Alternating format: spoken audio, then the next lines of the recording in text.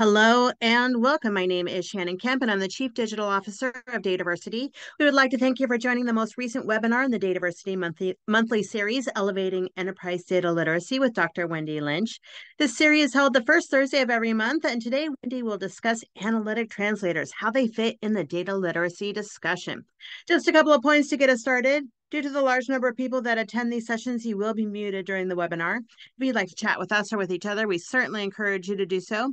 And just to note, Zoom defaults the chat to send to just the panelists, but you may absolutely switch that to network with everyone. To find for questions, we'll be collecting via the Q&A section. And to find the chat and the Q&A, you may find those icons in the bottom middle of your screen for the for those features. And as always, we will send a follow-up email within two business days containing links to the slides, the recording of the session, and any additional information requested throughout the webinar. Now, let me introduce to you the speaker of the series, Dr. Wendy Lynch. Wendy is the founder of analytictranslator.com and Lynch Consulting. For over 35 years, she has converted complex analytics into business value. At heart, she is a sense maker and translator, a consultant to numerous Fortune 100 companies. Her current work focuses on the application of big data solutions in human capital Capital Management. In 2022, she was awarded the Bill Whitmer Leadership Award for her sustained contributions to the science of corporate health. As a research scientist working in the business world, Dr. Wendy Lynch has learned to straddle commercial and academic goals, translating analytic results into market success. Through this experience, she has created her new book, Become an Analytic Translator, and an online course. And with that, I will give the floor to Wendy to start the presentation. Hello and welcome. Thank you, Shannon. I am happy to be here a heads up to everybody who is out there listening. I am getting over a cold. So if you hear a tiny pause once in a while, it's so that I um, don't cough in your ear. So um, I am very happy to be here and looking forward to this topic. So um, I'll just go ahead and get started. If you have joined us before, welcome back. And if this is your first time, welcome. So if we think about data literacy, the data literacy goal that we see from a variety of different sources, this is just one, is a pretty lofty goal. Uh, ability to identify and understand data sources, analyze data to derive insights, and use these insights to make value added decisions. That is quite an ask if you actually think about it, to have everyone achieving these abilities. But the reason why it's so important to businesses is that leaders are seeing these kinds of statistics that high performing businesses have analytic programs that are adding 20% to their earnings and that businesses who have an advanced level of data mastery which means that their people policies and technologies have fully adapted to the new digital world and they have 70% higher revenue so it is not a surprise that 90% of business leaders in an article from uh, Harvard Business Review said that they believe literacy will be critical to their success. So before we started this series about literacy, Shannon and Tony and his, their colleagues, as part of the Dataversity system, uh, did some focus groups and they said, What is going on with your organization in terms of literacy? And there were a lot of responses that were about how difficult this was going to be.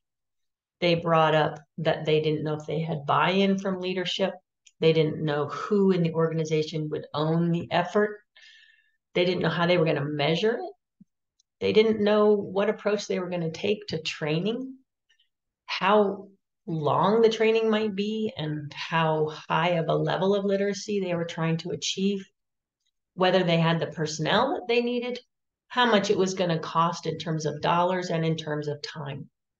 So there were a lot of questions about literacy.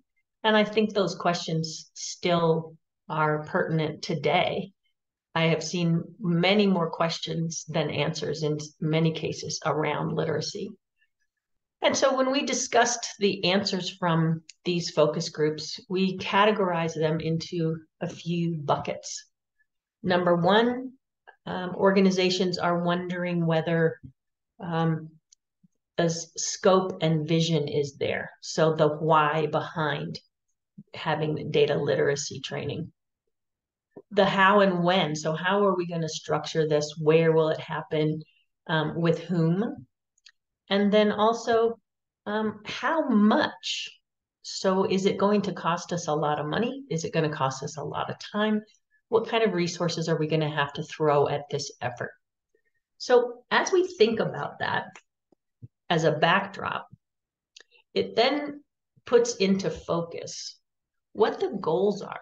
If we have people at low literacy and we achieve that description that we heard at the beginning, what we're saying is, is that we want people to not only be aware of data that are available, to be able to identify the different sources in an organization, to select the right source, to understand what the data tell us and what those metrics are.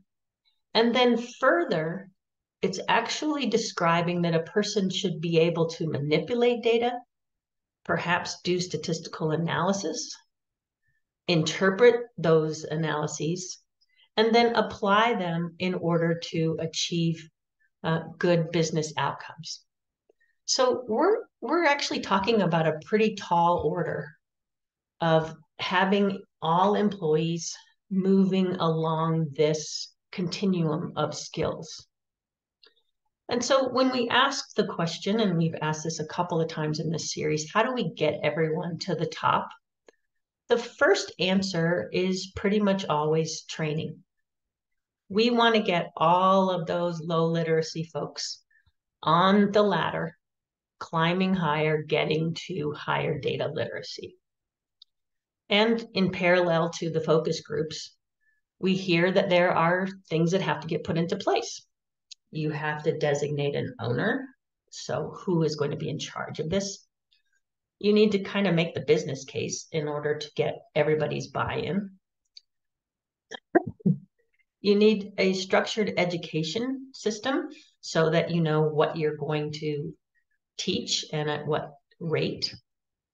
You're going to decide whether this is an individual activity or whether this is a team activity, and then customize it with relevant examples so that it pertains to your industry and then actually tie it to a person's role within the organization. So it's a pretty tall order when we think about everything that we have to do. And so it doesn't hurt for us to ask are we really wanting to get everyone to a level, and I would say everything in yellow here is a pretty high level, and it's a data science orientation. Are we trying to get everybody to this level of analytic skill? And so that's what we're going to talk about a little bit today. What is it that we really want to achieve, and how do we best do that? So we talked about these three categories of potential barriers. There's actually one more, and that is the human factors. We've talked about this a little bit before, but essentially, I'm saying, how do we decide who has the interest, and not only interest, but aptitude to learn these skills, especially those ones that are manipulating data and analyzing and interpreting data? And then also, do we have the empathy and teamwork that we need in order to um, generalize literacy to an entire workforce? So I will I will be asking today, is it realistic? And if it's not, why is it not realistic for every organization and every employee to climb those ladders all the way from low literacy to high literacy. So let's start with some assumptions. What we've seen in many, many articles is that leaders overestimate the level of literacy in their workforce. In one Harvard Business Review uh, study, when they interviewed uh, several hundred business leaders, 75% of them said they thought that most or all of their workers were already data literate. But then you look at the studies, and actually it's more like 10 to 20% that are literate and confident in their data skills. So rather than most of them already being there and you're just trying to get a few of them up to the top, what we're talking about is the majority of them have to get to the top. And then we hear from organizations like Forbes who say there's a problem because assuming that data literacy is the reason why things are failing now actually puts us in this category of uh, blaming certain parts of your workforce. And last month we talked about this labeling of people who are illiterate versus literate. Are we really wanting to label folks in such a way that we're causing a uh, divide and a conflict between these two groups? The reality is, if we look at the data, US adults are not that math oriented. We've seen these stats before. A third of Americans don't know enough about fractions to know how much a quarter of a pie really is. We've heard that half or more don't understand statistics, but they're not going to admit that to you. And then um, as much as a quarter can't follow basic numeric information that they get every day. So we are not seeing that it's typical that people understand data, and yet we're asking them to adopt not only just an awareness of data, but also um, manipulate and analyze data. Now let's add to this that according to the Qlik survey group, only a third of our senior executives are data literate. So they are assuming their workforce is literate, but actually when you look at what kind of capability they have, it's not very high. So if we are thinking about what it is that people will choose to do naturally, my guess would be that the majority of the workforce, if given a choice, would walk on the walkway to the left. They would rather not be put in a position where they have to learn about data. So let's talk about what's actually happening. And I'm going to do this from an analytic point of view because that's where my experience has been as a data analyst in the business world. So I actually have three graphs that are the result of polls that I conducted on LinkedIn. In the first poll, I asked my business professional contacts to describe their relationship with the analytic team that they uh, collaborate with, the people to whom they make requests. I said, How often do you get and understand the answers that you really need? So I want you to think about it. If you're one of the business folks, how often do you get and understand exactly what you need. Well, I was actually kind of surprised at what I heard. Only one in 10 say they always get what they need and their relationship with the analytic team is awesome. One in five said they really don't get what they need and their relationship is frustrating. Half of them describe it as adequate and a quarter say that it's good. So what we're seeing is that two thirds don't get what they need most of the time, and they barely think that that relationship is functional. So then the next poll that I administered was to my data professional colleagues, analytic professionals. And I said, why don't you describe your relationship with the business folks who ask for things from you. I said, What is that relationship like? Do they give you some context? Or is it kind of one way where they just say, Please do this? And they don't ask you for your expertise or your input or your knowledge. So I want you to think about it. If you are an analytic professional, what is your relationship like? What kind of request do you get? Is it just give me this? Or is it, you know, we're trying to accomplish X and we love your thoughts and insights about it? Well, here is the result again, almost a mirror image of the other direction.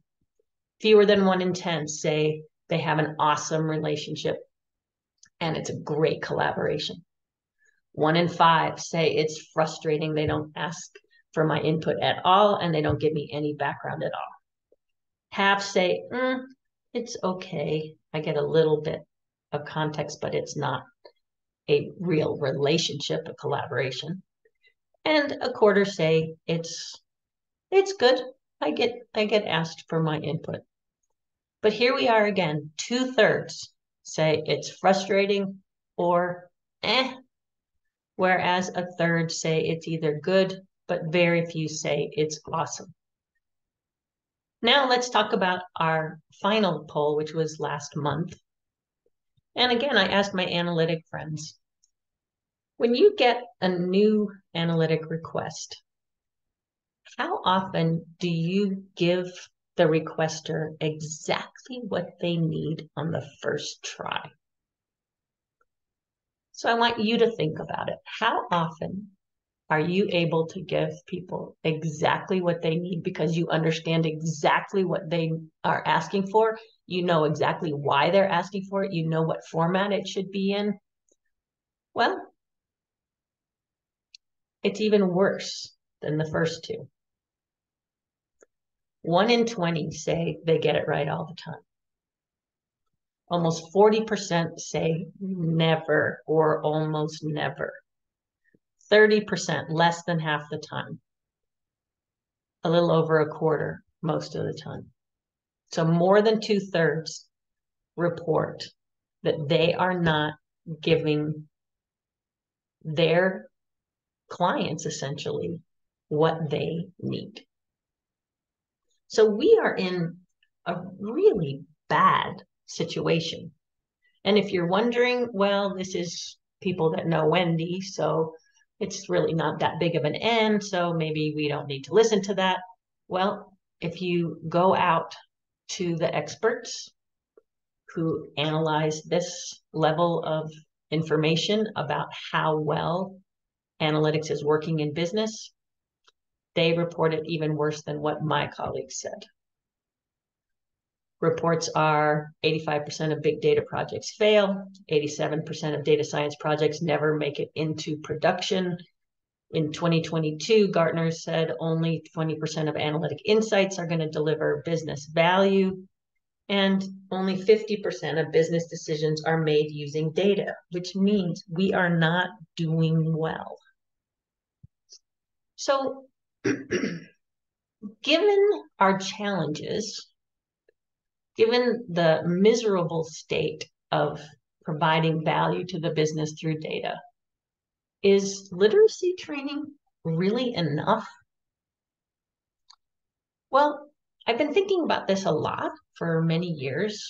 And so, what I thought I would do is I would walk through some of the root causes for why so many analytic projects fail. Let's start with something obvious. Personality. If we think about data scientists on the right and business leaders on the left, how different are these people? Well, if you look at the Myers-Briggs personality inventory, they are actually opposite on three out of four dimensions. Business leaders, extroverted, data scientists, most often introverted, detail oriented on the left, big picture oriented on the right. They're both thinkers, which is a blessing.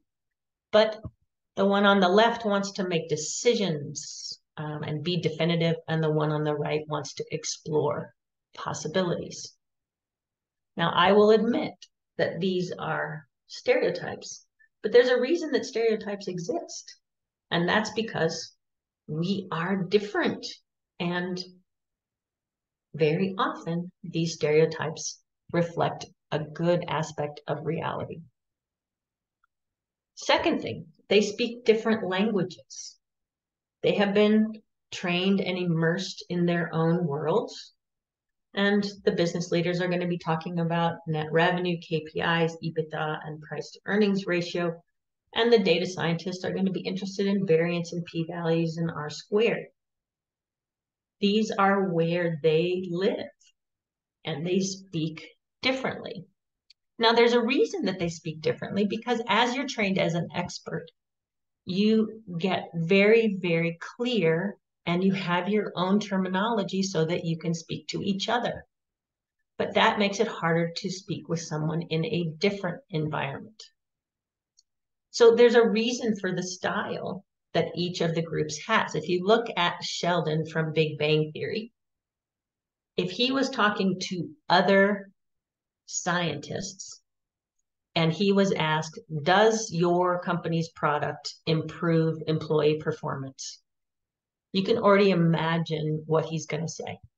Something like this Our analysis controlled for demographics, tenure, previous performance, location, and job type. We did a time series analysis, removing seasonality, transforming the outcome into a binomial, and showing that, yes, participants had significantly higher likelihood of improvement at a p-value of 0.02.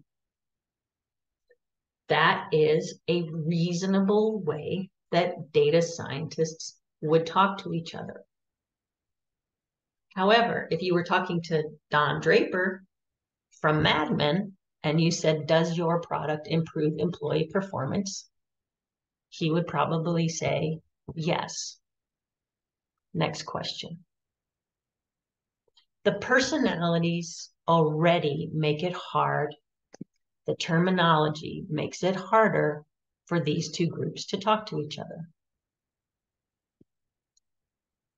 Then add to that that they're trained in really, really different ways. When you get an MBA, they want you to be clear and action oriented. They want you to look for differentiators for your product or service. They want you to be in search of opportunities that are coming up. They want you to make decisions quickly. They want you to be able to pivot if the marketplace is changing or customer needs change. They want you to take action for success. Now, the data scientists are trained to formally formally doubt the results that they get. What do I mean by that? You are asked to understand all of the reasons that you may be wrong threats to internal validity, threats to external validity. You are trained literally to quantify the likelihood that you are wrong. A confidence interval is literally how confident or um, not confident you are at what you discovered.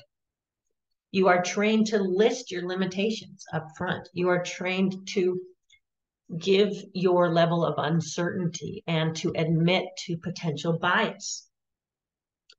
So you are supposed to hedge your bets. That's the way that you're taught. And oh, by the way, on the left, they are not taught in advanced statistics or communication skills. And on the right, they are not taught business management or communication skills. So their orientation, in addition to their personality and their language on how to be good at what they do, are in complete conflict with each other. So one embraces doubt the other insists on certainty. So then on top of that, let's look at the values that different groups have. I've presented to and provided analytic support to many sales teams. And you learn very quickly how different you think and act and what you value. Sales teams want to beat the competition. They want to win and get commissions. They want to leverage every advantage they have. They want to highlight the most positive results that they can. They want to stretch it as far as they can. I had a salesperson that said, Wendy, I, I don't lie. I just provide the truth in its most favorable light. So they will do what they can to leave out what is negative, to claim the best outcome possible, and to do it as quickly as possible. They're not going to wait until you've double, triple checked. They want it now. Data scientists really want to be correct because the worst thing you could do is claim something that wasn't true. Like if you're going to publish, you don't want the academic community to ridicule you or decide that you don't know what you're doing. So you want to get it right. So you're cautious, you're factual, you don't embellish, you highlight what might be wrong, you admit what you don't know, and you take the necessary time. So you end up with one group pushing us one way and another group pushing us the other way within the same business setting. So one wants significance and certainty. The other one wants to move ahead and win and sell. So another way that we're different is the preferences for how people will hear us. And this one cracks me up the most because I'm guilty of it at all times. But if you start to look for it, you will see.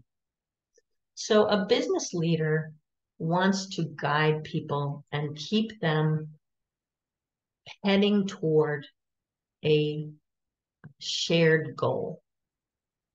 They want to provide simple guidance clearly. They want it to be understandable to everyone so that nobody's wondering what they ought to be doing. They want as much as possible for the direction that you're headed to be indisputable, so you're decisive, and they want it to be convincing. They have investors that they have to talk to. They have a workforce that they need to lead. And you can't do that if things feel uncertain or if they're questionable. Now, what's funny is that data scientists want to teach people. They want somebody to understand that there are so many complex possibilities that are really interesting that they discovered something new and possibly and hopefully different than somebody else discovered. They want you to know how fascinating this discovery is they want you to know that it's brand new and unique, a discovery. And they also want to brag about the advanced techniques that they used. I mean, we would all rather do a gradient boosted model than to do something simple. We want to show how excellent our analytic skills are.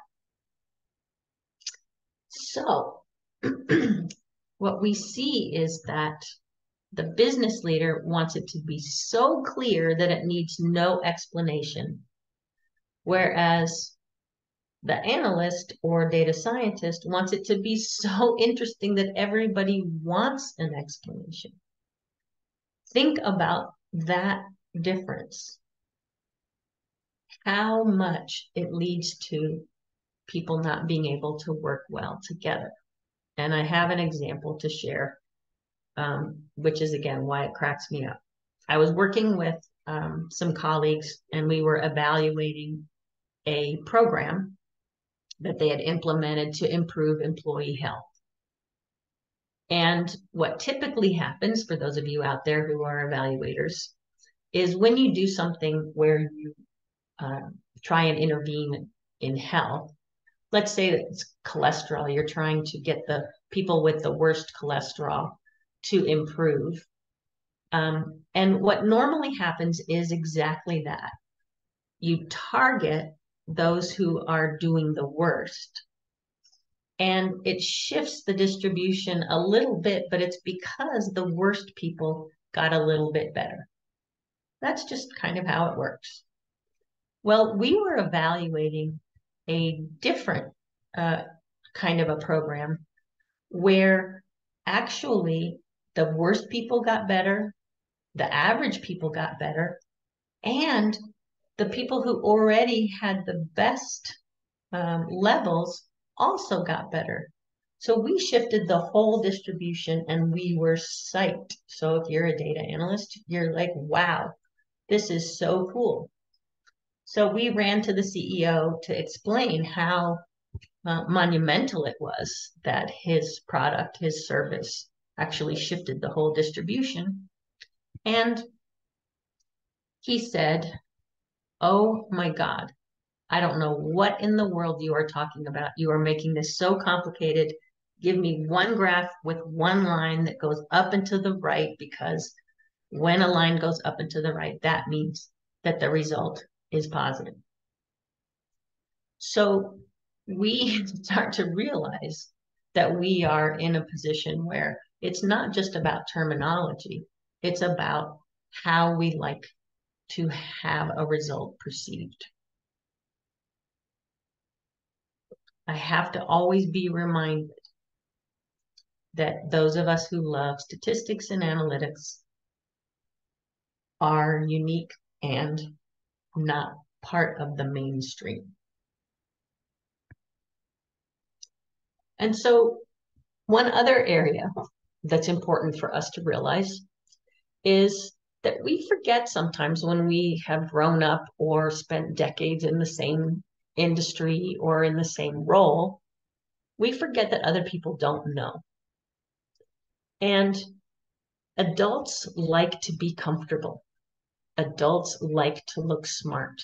And if you're an expert in one area, you tend to not want to look dumb in another area. So when you end up with any kind of complex stats or math, very often people who are extremely talented in other areas of the business do not want to be involved.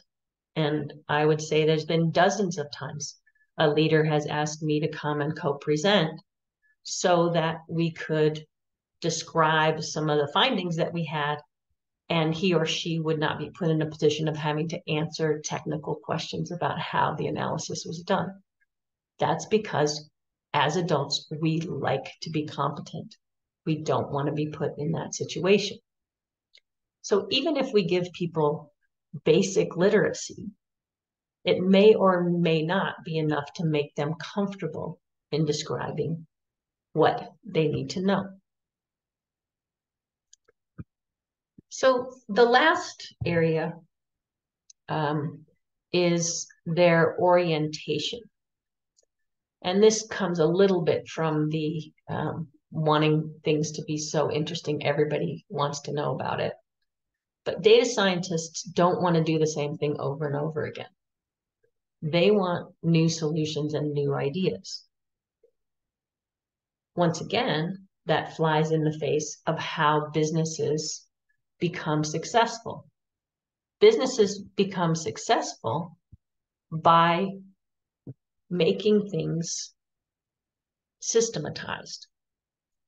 What you want to do is discover something and then put it into something automated so that it's done over and over again. You want to take a model and implement it, not try and figure out whether there's an even better model scalability and profitability requires that you repeat something rather than invent something.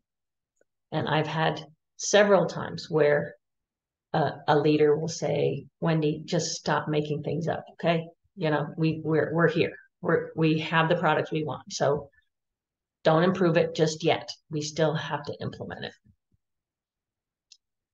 So this is what we are up against. And when people tell me that literacy will get us to a position where we can actually uh, overcome this, I have questions about it. Because what we're saying is that these two groups are so different. They are different in all of these different dimensions. And what that does is I find the same way that we saw in my polls on LinkedIn, the relationships are not good. The relationships have tension, if not direct conflict.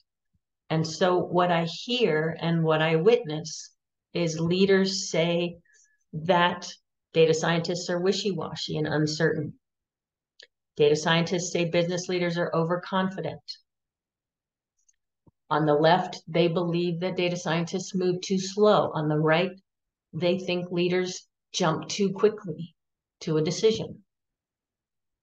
Business leaders think analysts make things too complicated. Data scientists think leaders oversimplify and ignore some of the intricacies of what they found. Leaders think that data scientists don't care enough about the business objective, whereas analysts and data scientists think business leaders overlook how challenging something might be methodologically business leaders may think that the analysts get distracted because they're too busy wandering around in the data and they don't give them what they need. Whereas data scientists think that business leaders are one track minded. So we have put ourselves in a situation where we are trying to collaborate between teams who don't necessarily get each other and not only do they not get each other, but they presume that the other one is intentionally making things more difficult because of all of those differences in training, values, goals, personality. So when I think about this, it makes me wonder, given these differences, is the solution really to just educate one of the professional groups, meaning business people, to be more informed about the data used by the other? Which is essentially what data literacy is about. So, is that going to get us to a point where we are collaborating?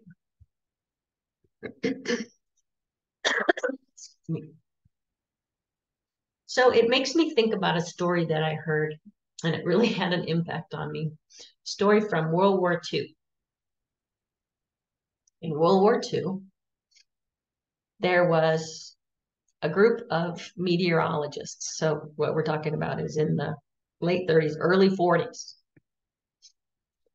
A team of weather forecasters offered their resignation because it was proven that their predictions were no more accurate than random chance. So these are our data scientists. These are the folks who are saying, gosh, we really wanted to do a good job, but you're making decisions based on data that we can't prove is actually providing you value. And they got an answer. The commanding general is well aware that the forecasts are no good. However, he needs them for planning purposes. Now, that really struck me for a couple of reasons. Number one, businesses or the military have to move forward and do the best that they can based on what they have. But also that we tend to rely on a an answer that may or may not be outdated. And so I wonder, are we relying on literacy as a solution to a much bigger problem because it's popular, it's written up, there's ways to do it, and in many ways, it blames the people that we would rather behave differently. Because in many ways, data literacy blames those folks who aren't enough, uh, aren't talented enough, or not trained well enough in the things that we as data people think are important. And so we can ask ourselves, do we train everyone? Or, I've used this graphic before, can we use these people with the T, analytic translators? Can we take people who have data familiarity um, and have them boost some of the folks who don't? Can we take people who have some basic analytic skills to help their teammates get move higher along the insight spectrum? And can we use designated analytic translators to make sure that we are able to communicate between business team members and analytic team members? So we'll talk about this more as our series moves on, but what does a translator do? It's not simply to take the answers that may or may not be the ones that they asked for, as we see. But a translator speaks both languages fluently. They know what somebody means when they say certain things. They know what's going to get an analyst excited and what's going to get a business person excited. They know that. And they are native to both domains. So it's not just they know the terms, they know what a p value is, or they know uh, what the KPIs are, but they're familiar with all of these biases so that they can help each other be comfortable. They have expertise in communication because you can't just say, so, Mr. Businessman, is this exactly what you want? That does not get you there. We can't say to the data scientist, so dumb that down for me. We have to be able to ask high quality questions, listen for the right things, and help each side clarify so the other team really understands what's going on. They are absolutely dedicated to converting data into maximum business value. So the data scientists and analysts can do all of their work and focus on the things that they're good at so that the translator can help them package it and also focus on the things that are most important to the business. And lastly, because it's really kind of humorous just how different these groups are, and a translator has to have authentic appreciation and empathy for both teams. They have to understand both perspectives and why it's so difficult. And when you become an ally to both teams, that is when you actually can understand what's not going right and make sure that the value is getting produced. I like to think about moving forward in terms of a, a, combination of not only analytic translation, but also communication. And so when I teach analytic translators, we use both of these resources how to have good conversations that provide meaningful information, and then how to guide a project in such a way that you can um, serve both groups. And as we move forward and thinking about doing things differently, we can keep this in mind. Our biggest challenge is the time zone difference.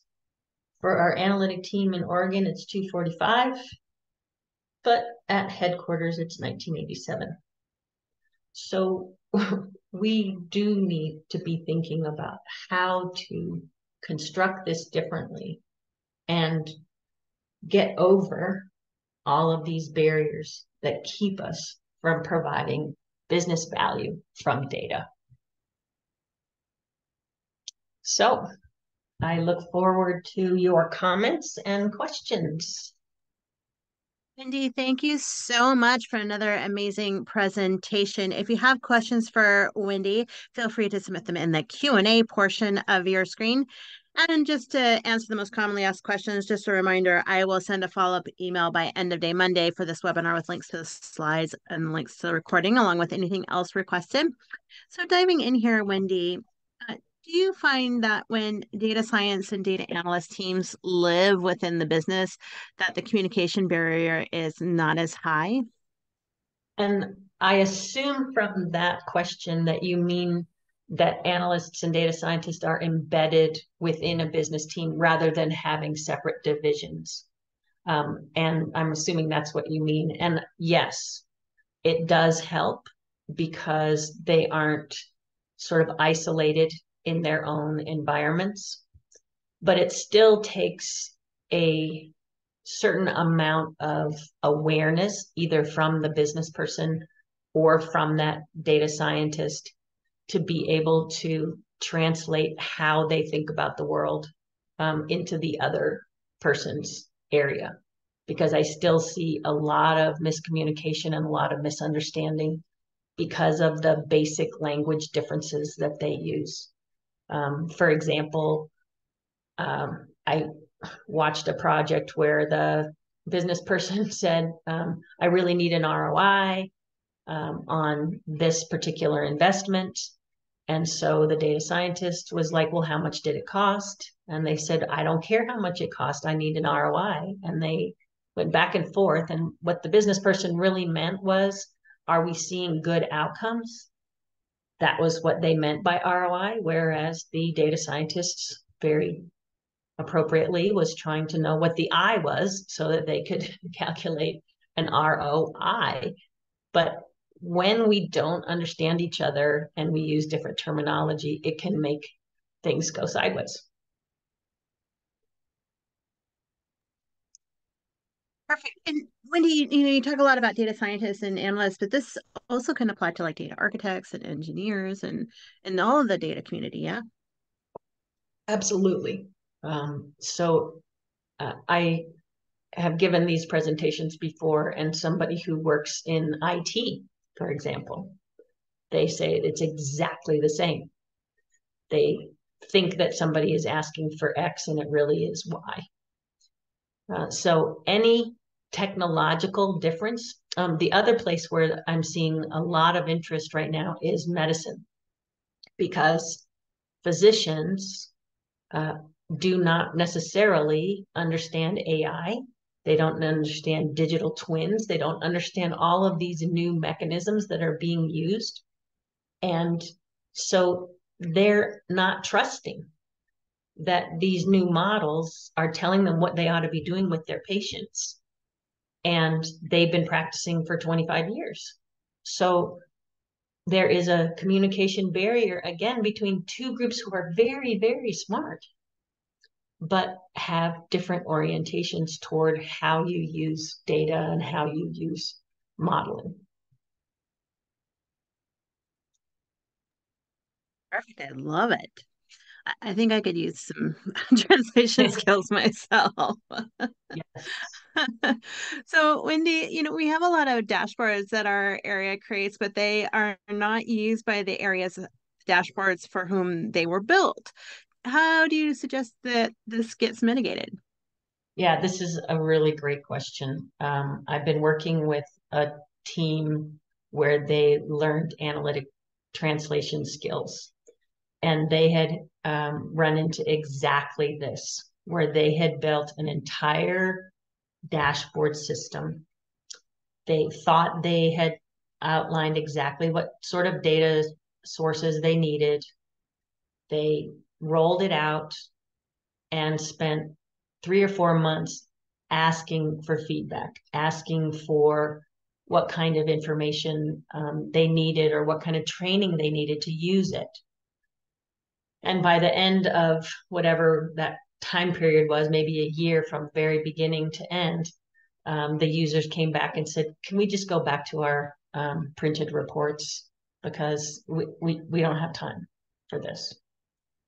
So what happens is that the data folks think about this from all of the ways that they would use it, not how the other team might use it. So this team, uh, we, we've been working on this together.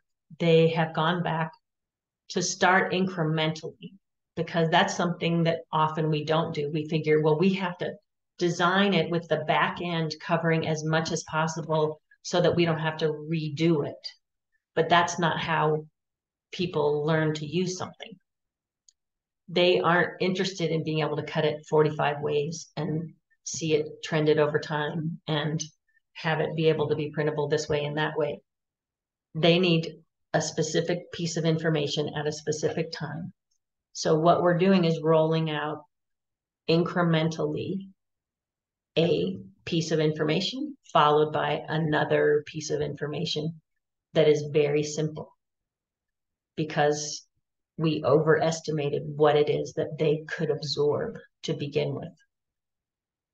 Anyway, that's uh, that's one of the the ways that we've uh, tackled it. Very nice. So, um, Wendy, have you surveyed people in the public, nonprofit, or academic sectors?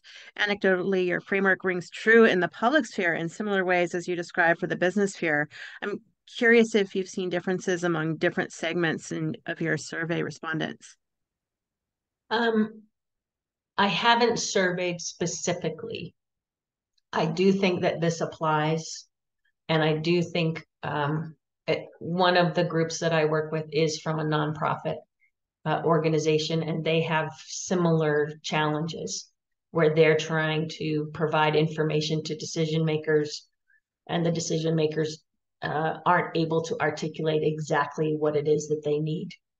So they are now using this um, framework. I, I, call it a maximum business value framework to uh, understand what it, they're truly asking and using their communication skills in order to pull that out of the decision makers.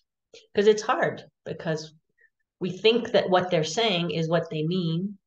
Oh, oh, and one really great example, that third poll that I did, where I said, How often do you give them exactly what they need the first time? Uh, the person wrote in in LinkedIn a comment that said, Well, technically, I gave them exactly what they asked for. Now, it wasn't what they needed, but, I consider that a success. And I, I, I'm not sure that I agree. So.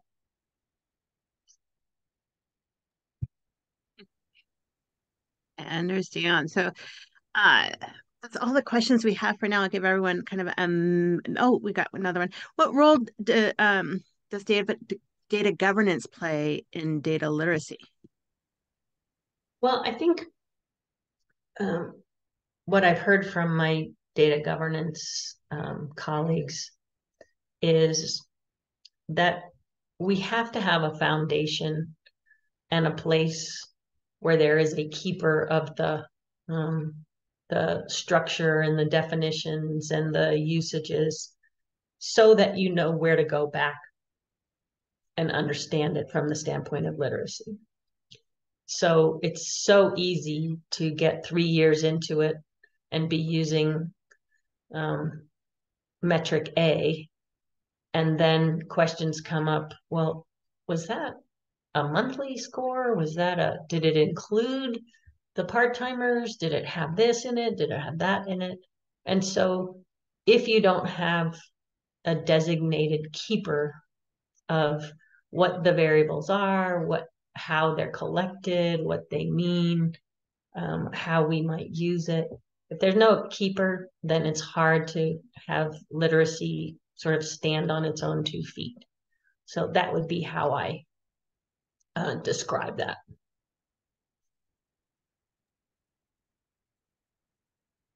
Very nice. And um,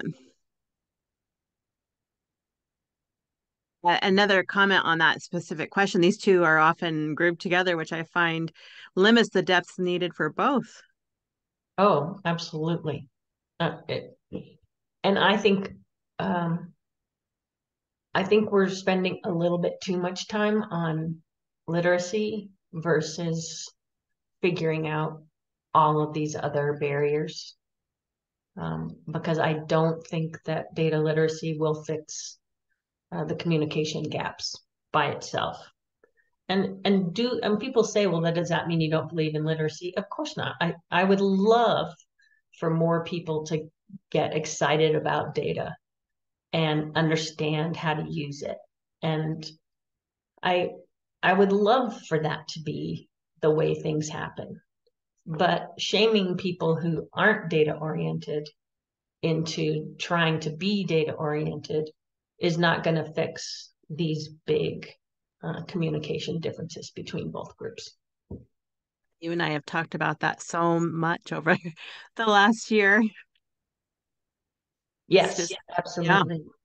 Yeah. And yeah. yes, uh, Lawrence, yes, yes, yes. Um, I really do think data translators, analytic translators, um, will be the in demand role on every analytic team because uh, you can fix so many problems that have nothing to do with and, that's the thing is is the problems that we're, we're describing the 85% of projects failing have nothing to do with talent nothing to do with technology nothing to do with systems and it's not that people aren't trying so it's not about bad intentions it's that we don't get each other.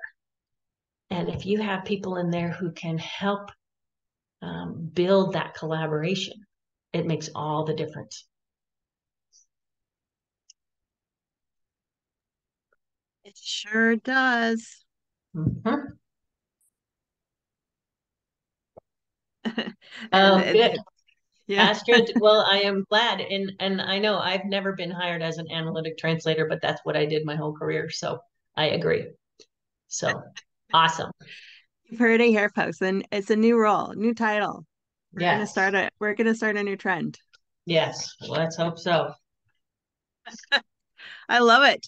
Hey, you know, it's it wasn't that long ago that CDOs were were born. So Right, exactly. Exactly. Yeah yeah and uh look at us now so uh wendy thank you so much for another really great presentation and thanks to our attendees for for the great questions uh, really appreciate it. And again, just a reminder, I will send a follow-up email by end of day Monday for this webinar with links to the slides and links to the recording. Um, and it looks like, uh, and uh, and so we'll get that information out to y'all. So, Wendy, thank, thank you so much. I hope you feel better. Me too. Thank you for, uh, and thanks everyone for joining us. Thanks, y'all. Have a great day. Bye bye.